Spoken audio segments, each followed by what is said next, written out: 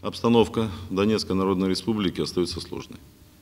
За прошедшие сутки украинские силовики 66 раз обстреляли территорию республики. Противник выпустил 35 мин из минометов калибром 82 и 120 мм. Также противник применял БМП, стрелковое оружие и различные типы гранатометов. Все данные о нарушении минских договоренностей были переданы представителям СК и миссии ОБСЕ. Наиболее интенсивный огонь с применением тяжелого вооружения, запрещенной Минским договоренности, подвергли следующие населенные пункты республики. Ясиноватая, Докучаевск, Спартак, Старомихайловка и шахта Абакума. В результате обстрела вооруженных сил Украины населенного пункта Старомихайловка получила осколочное ранение Черноног Тамара Степановна, 44 года рождения. Приказы на обстрел территории республики отдавали всем известные военные преступники – Заболотный, Шаптала и Жакун.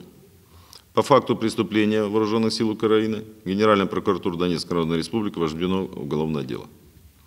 Украинское руководство не желает отказываться от силового пути решения вопроса юго-востока Украины, Донецкой области. Так нам стало известно, что Турчинов, Муженко и Горбулин после получения соответствующих распоряжений от заокеанских партнеров – активно продвигает в руководящих кругах силовых структур идею скорейшего перевода АТО в активную фазу. Для реализации планов развязывания войны на Донбассе задействовано командование сил специальной операции во главе с Луневым. Все обстрелы осуществляют специально выделенные силы вооруженных сил Украины, карательно добровольских формирований националистов. В связи с чем прошу мировое сообщество с предельной критикой относиться к бросам со стороны официальных лиц Украины – пропагандирующих войну на Донбассе и обвиняющих вооруженных сил Донецкой Народной Республики в обострении ситуации. Также нам отмечается переброска запрещенных вооружений вооруженных сил Украины максимально близко к линии разграничения для обстрела с этих позиций собственных территорий. Кроме ранее выявленных позиций с военной техники, разведка зафиксировала в район населенных пунктов. Гранитная, 500 метров от линии соприкосновения. Скопление военной техники противник в количестве 5 танков, одной БМП-2, одного самохода артиллерийского орудия НОНАЭС и трех автомобилей с боеприпасами. Севернее Правдовка, 18,5 километров. Местоположение четырех танков, четырех БМП, шести автомобилей техники с боеприпасом и личным составом. Архангельская, 19 километров. Концентрацию до 35 единиц автомобильной техники, двух СРК ПВО и 5 БТРов. Вся техника тщательно маскируется. В районе населенного пункта Донское 12 километров. Планируется сосредоточение до полутора тысяч личного состава вооруженных сил Украины, треть из которых, прошу обратить внимание, военнослужащие срочники. Солдаты срочной службы будут распределены по передовым позициям в районе Волновахи.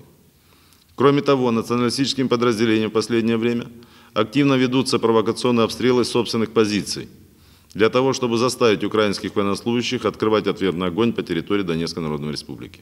В частности, 24 апреля в районе Авдеевки украинские националисты из АУН, которые входят в состав 81-й аэромобильной бригады, открыли огонь по украинским военнослужащим срочникам, отказавшимся вести обстрелы территории республики. В результате двое украинских военнослужащих, проходящих срочную службу, погибли, трое получили ранения. Попытки националистов оказывать давление оружием на необученных бойцов вооруженных сил Украины тщательно скрываются военным командованием. Боестолкновения подобного характера происходят в том числе и в районе населенного пункта Мариуполь и Волноваха между украинскими националистами и военнослужащими 36-й и 56-й бригад. Важно заметить, что украинское командование не предпринимает никаких мер для исключения подобных случаев, в связи с чем такие факты становятся обыденностью для украинской армии.